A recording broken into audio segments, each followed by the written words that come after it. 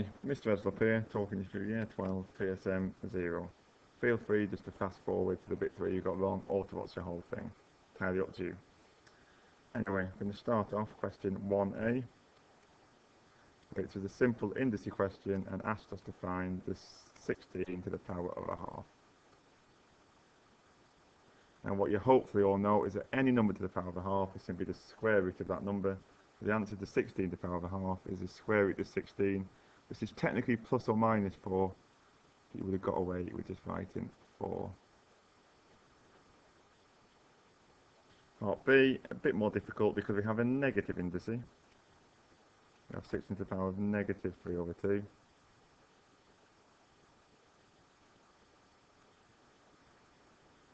which, so the first thing we're going to do is deal with the negative part of the index, so that means we're going to find the reciprocal of 16 to the power of 3 over 2. So it becomes 1 over 16 to the power of 3 over 2. Now all we've got to do is work out what is 16 to the power of 3 over 2. And we can think of that as 16 to the power of a half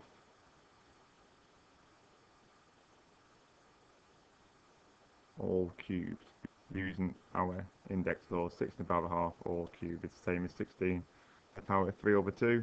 And we just worked out in part A that 16 to the power of a half is 4. This is 1 over 4 cubed, which is 1 over 64. And that will get you all the marks. Now, question two, another indice question. This time instead of being to the power of a half, we've got the power of a third. That works in a similar way. Power of a third of any number is the cube root of that number. So we know the cube root of 8 is 2. In part B, again, got to deal with the negative first. So negative finds a reciprocal. So we're going to do 1 over 8 to the power of 2 thirds.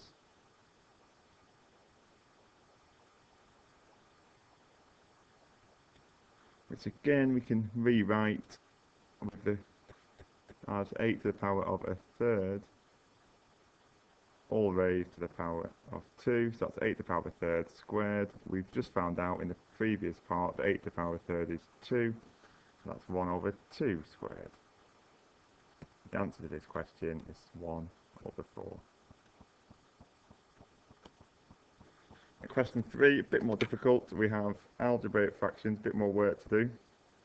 First one is a subtraction, and we treat this exactly like you would addition and subtraction of numerical fractions, where the idea before doing the, before doing any additional subtraction is to make all the denominators the same. And ideally, to save yourself some work simplifying at the end, you want to get all the fractions over the lowest common multiple of 2, 9 and 18. The lowest common multiple of 2, 9 and 18 is 18. So to, we're going to rewrite it as instead of having this number over 2, we've got to multiply numerator and denominator by 9 to make it over 18. So we can rewrite that as 27 instead of 3, multiplied by 2x minus 3y.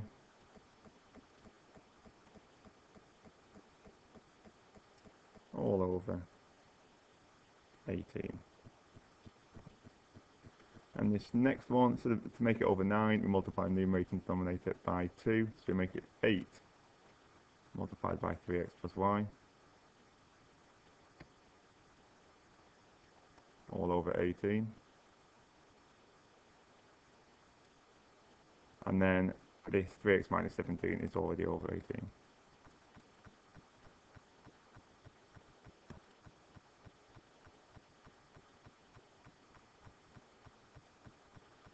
Right, so now we can bring all the numerators together over, over the common denominator of 18. So we can write it as, we'll expand at the same time as well. So we've got 54x, 27 times 2x, minus 81y, 27 times 3y, minus 24x, 8 times 3x, then we've got a negative 8 multiplied by a positive y, so make sure you write that as a negative 8y and we've got negative 3x, and this is where lots of people went wrong got a negative here and a negative here, so that makes this a plus 17. I'm going to put all of that over 18. Now all we've got to do to get all the marks is to simplify the numerator. So we've got 54x minus 24x minus 3x, that is 27x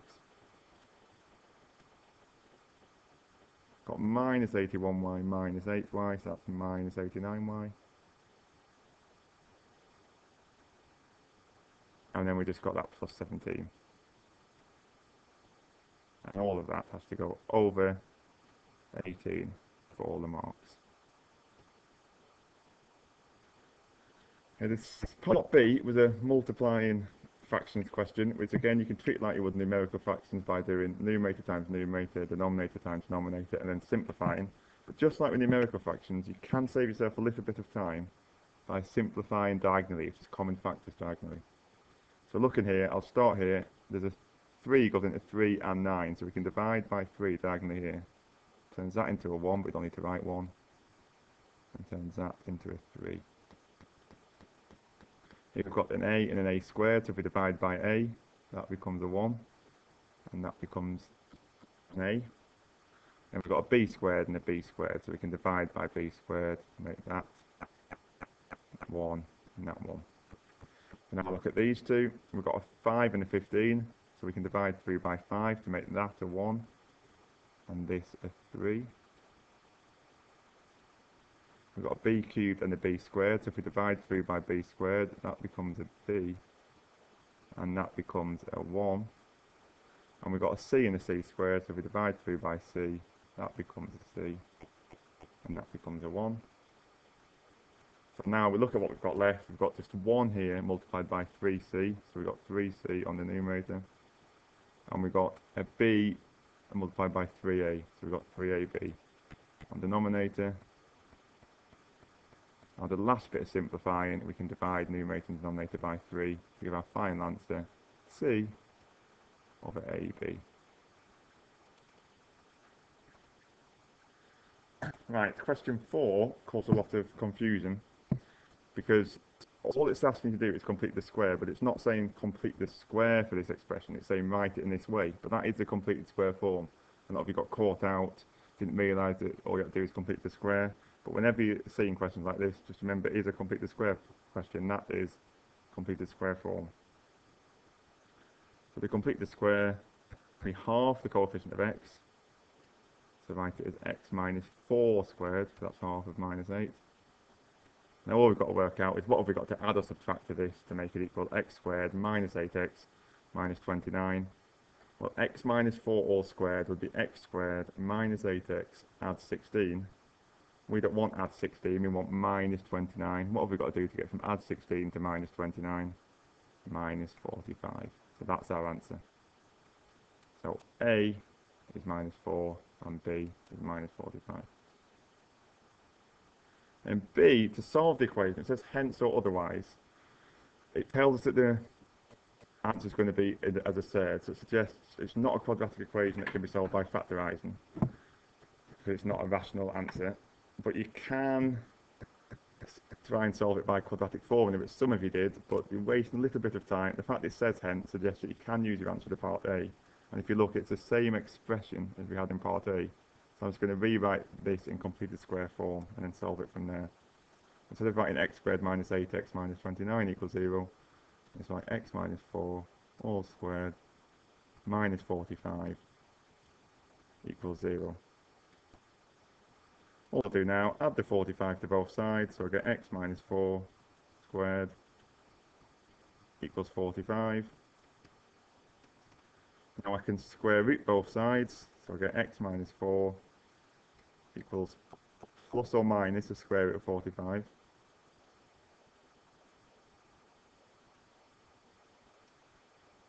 And that square root of 45 can be simplified because we know that the square root of 45 is the same as the square root of 9 multiplied by the square root of 5.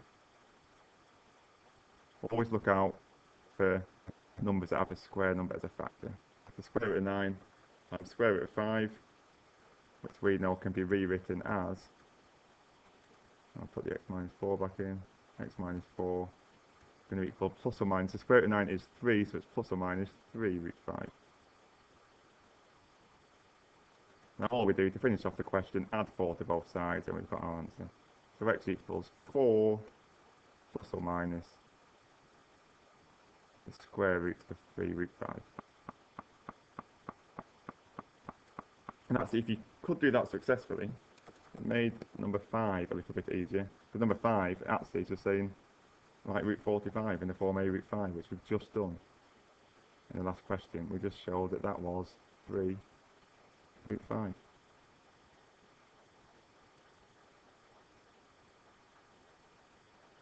Right, now part B, rationalising the denominator question. We don't care about the numerator.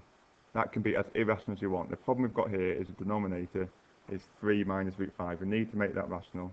Whenever you've got an addition or subtraction on the numerator, on the denominator, you multiply through by the conjugate of that to do difference of two squares.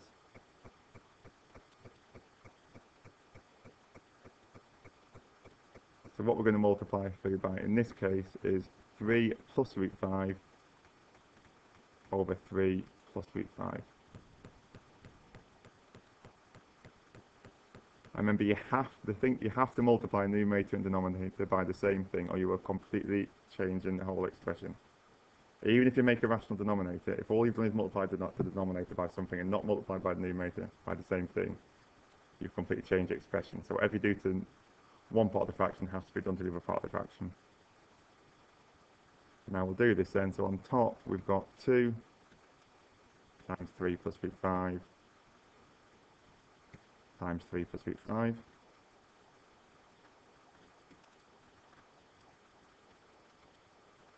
On the numer uh, on the denominator, sorry, we've got 3 minus root 5 times 3 plus root 5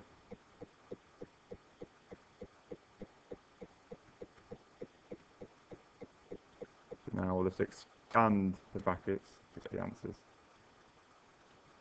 So on the top we have 2 multiplied by 2 FOIL, 3 times 3, 9.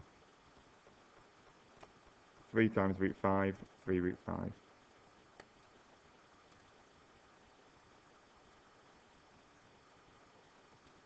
Again, root 5 times 3, 3 root 5. And root 5 times root 5, 5.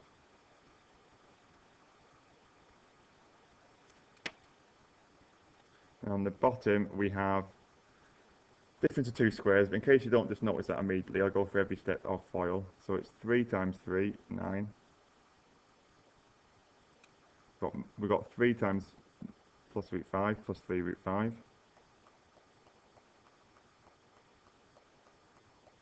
We've got minus root 5 times 3 minus 3 root 5. and we've got minus root 5 times root 5 which is minus 5 so if we bring all that together I'm going to times everything in the bracket by 2 on the numerator. So first I'm going to do a bit of simplifying now. So I've got 9 add 5 so it would actually be 14 if I simplify the top. It's going to be 2 times 14 not going to do both those things at once 2 times 9 and the 2 times 5 so I'm going to write 28 and we got 3 root 5 add 3 root 5, that's 6 root 5. Multiply by that 2. We've then got 12 root 5.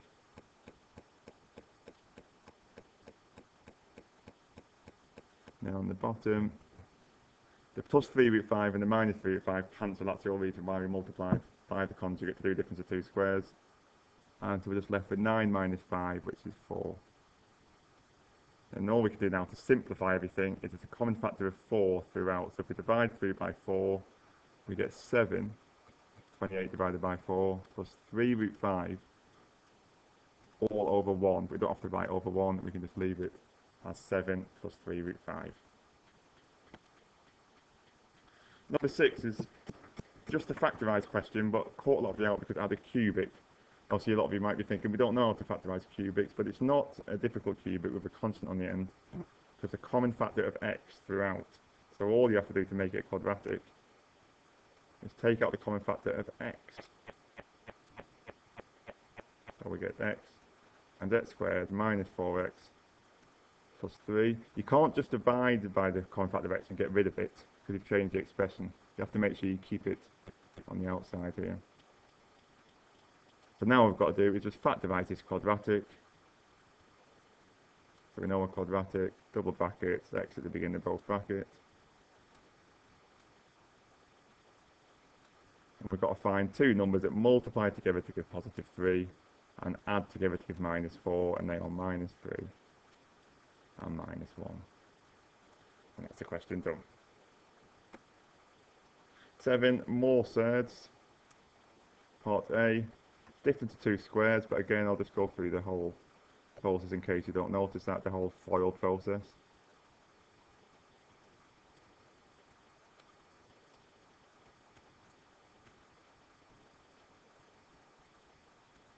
So in FOIL, 4 times 4, 16. 4 times minus root 3 minus 4 root 3. Root 3 times 4 plus 4 root 3.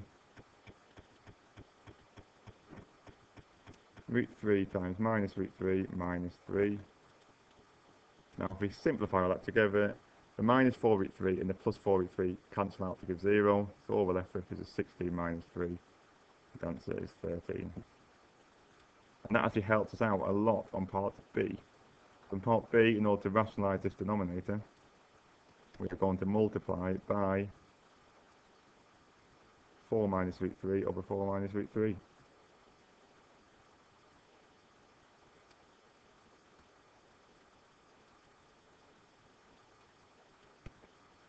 And so on the denominator, we're going to have 4 plus root 3 times 4 minus root 3. We don't have to show that working out again because we've already shown in A that that is 13. The denominator is 13. And the numerator will therefore be 26 multiplied by 4 minus root 3.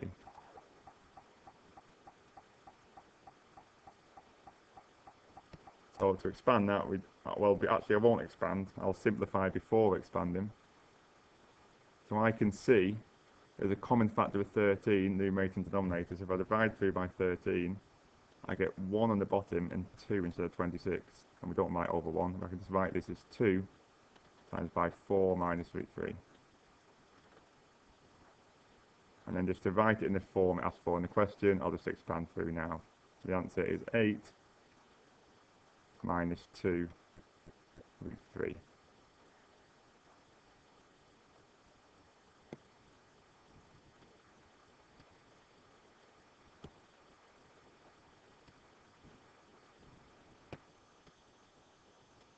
Okay, question 8 talks about how many roots something has. Whenever you see a question which is talking about equation having equal roots or two real roots or no real roots, always think discriminant. So go on to this, look at the discriminant. That'll get you some of the marks on question 8. So discriminant is b squared minus 4ac. So what we've got, but this still, even if you realise your discriminant is b squared minus 4ac, you might not realise what it has to equal if it's got equal roots if you haven't maybe thoroughly revised. So if it's got equal roots, b squared minus 4ac should equal 0. But then you've still got to work out in this question, because it's a bit confusing with all the p's, what is b, what is a, and what is c. But b is always a coefficient of x. So in our case here, b is 2p. So we've got to do 2p squared. And remember that is 2p all squared, not 2 times p squared minus 4 times a, which is 1, the coefficient of, a, of x squared, times c, which is a constant added on. The whole constant is 3p add 4. So that is c, 3p add 4. And that, that must equal 0, but have equal roots. So 2p all squared is 2 squared times p squared, which is 4p squared we're going to subtract from that 4 times 1 times 3p plus 4. So that's 4 times 3p, 12p, add 4 times 4, 16. But remember, negative times a plus, that's got to be a minus 16. Now, your, your first thought whenever trying to solve a quadratic, and that's what we've got here, a quadratic, should be to factorise. You might not like the fact it's a 4p squared, and that's hard to factorise. But lucky, a common factor of 4 throughout that we can divide by, and because on the right we've got 0, we end up with 0 divided by 4, so the 4 does just disappear, so to speak. So we can divide 3 by 4, so we get p squared minus 3p minus 4 equals 0.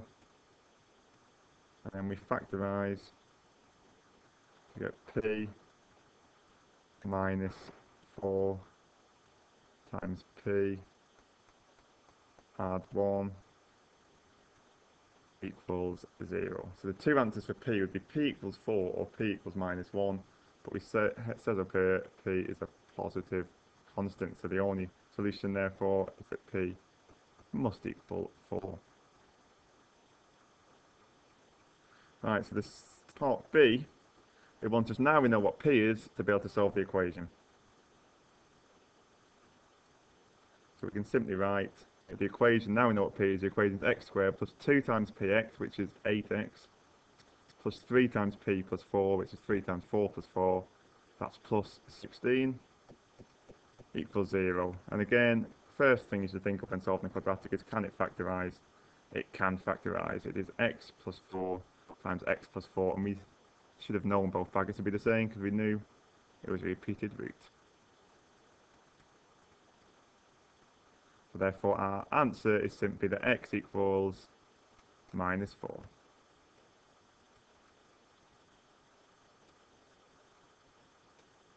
Right, question 9, again, similar to the question we had earlier, it is a completing the square question, just written in a different way. It's got find a and b, and what? how do you find a and b?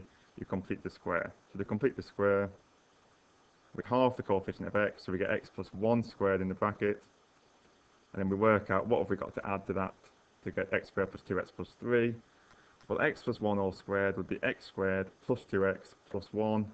We don't want plus 1, we want plus 3, so we're going to add 2, and that is our answer. And now part B, we need to sketch the graph indicating coordinates when intersections with the axes.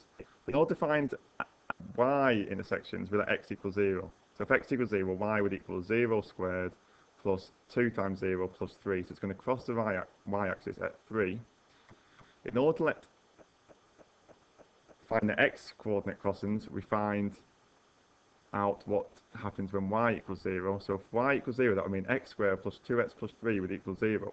Which would mean this thing would equal 0. So if you imagine if x plus 1 all squared plus 2 equals 0, and that would mean x plus 1 squared would have to equal negative 2. And that can't happen because we can't square root a negative number. So, therefore, it must there must be no real roots to this equation. And we could check that with b squared minus 4ac. b squared is going to be 4 squared, uh, 2 squared, sorry, which is 4. And then we're going to subtract from that 4 times 1 times 3. So, that's actually what I'm getting ahead of myself a bit to question it to part C, but there isn't, we can find that that's negative, so it doesn't cross the x-axis anyway. Another way you can see it doesn't cross the x-axis is that the completed square form tells that the minimum value of the graph must be when x is minus 1 and y is 2. So it's a, this does not cross the x-axis. So it will look a bit like this. Comes down here, turns, and crosses the y-axis at 3.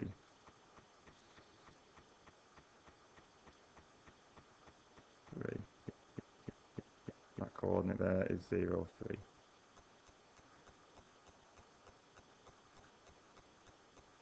And then part C, we work out discriminant, b squared minus 4ac. Always remember that's what discriminant is, b squared minus 4ac. So that is going to be 2 squared, I've already mentioned this, minus 4 times 1 times 3.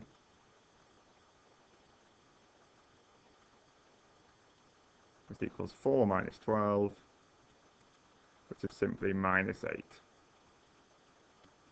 And how does that relate to our sketch in part B?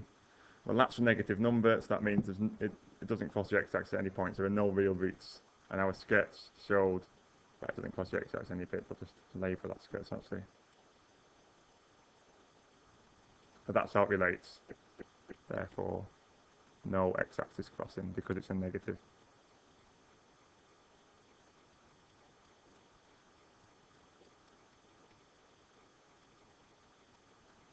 Right, so that is part 9 done. Nice 7 marks for you there. Question 9. Question 10, inequalities questions.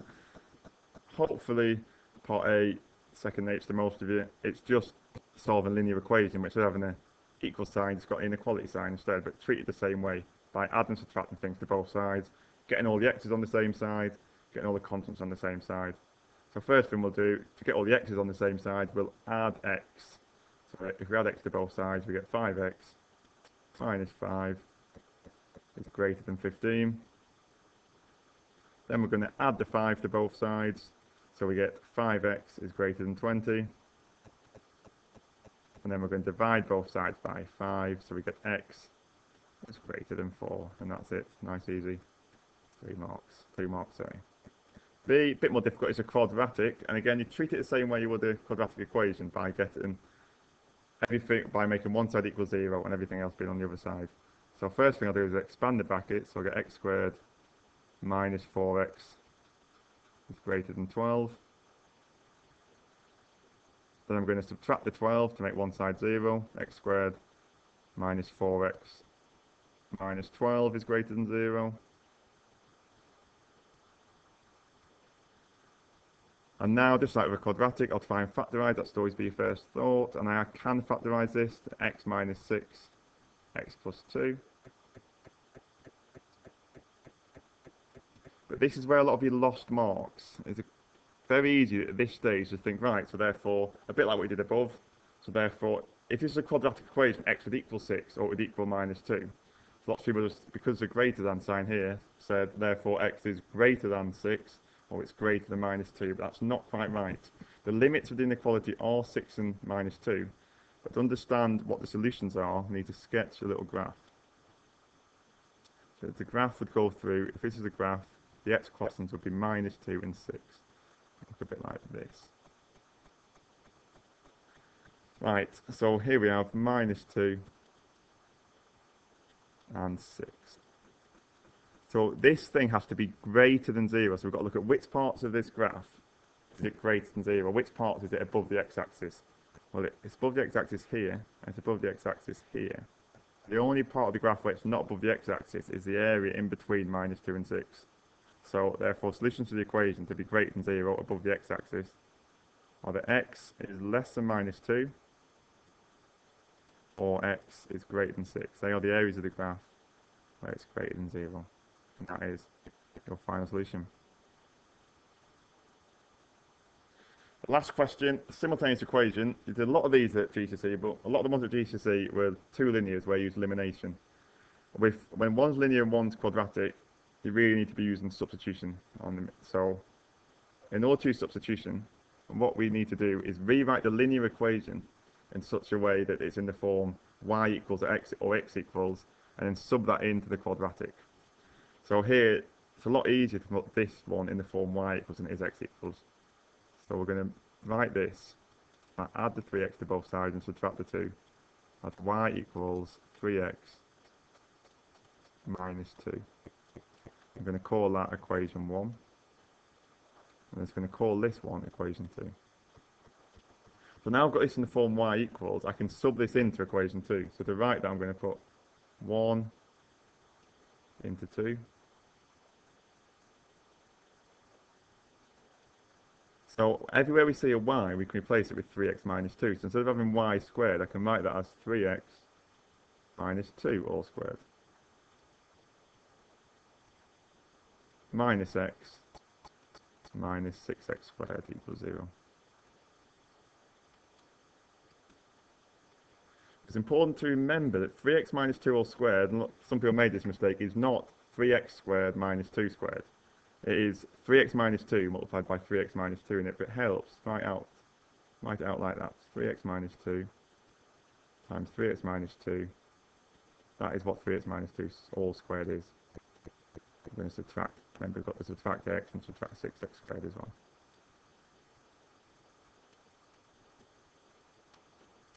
So what we've got to do now then is 3x times 3x, which is 9x squared. 3x times minus 2, which is minus 6x. Minus 2 times 3x, which is minus 6x. And minus 2 times minus 2, which is plus 4. That's the bracket expanded. Then we've got, remember, we've still also got this minus x and this minus 6x squared. y equals 0. So now we've got to do the simplify. So we've got 9x squared minus 6x squared, that's 3x squared. We've got minus 6x minus 6x minus x, so that's minus 13x. And then we've got a plus 4. And that equals 0. So again, we can factorise in order to solve this quadratic. Factorise something with 3, 3x squared, need a 3x and an x at the beginning.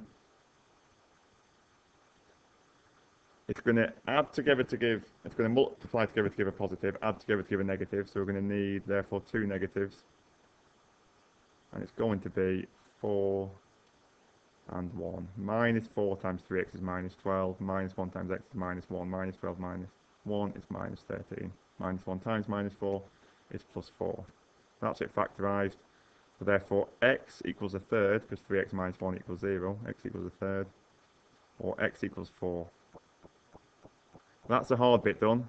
Now we've got to do is use these solutions, sub it into our equation 1, find out what y should equal. So to put this into equation 1, we said that y equals 3x minus 2. That means y could equal 3 times a third minus 2.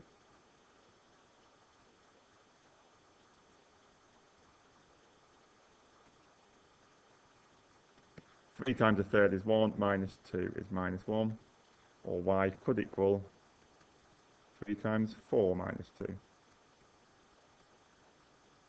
3 times 4 is 12, minus 2 is 10. So therefore our solutions, it's good to pair them together. Our solutions are a third minus 1, when x to the third y was minus 1, and 4, 10. And that is the whole paper done. Hopefully you found this useful. Those of you who are having the resit on Wednesday the 9th of October, good luck with it and thank you for watching.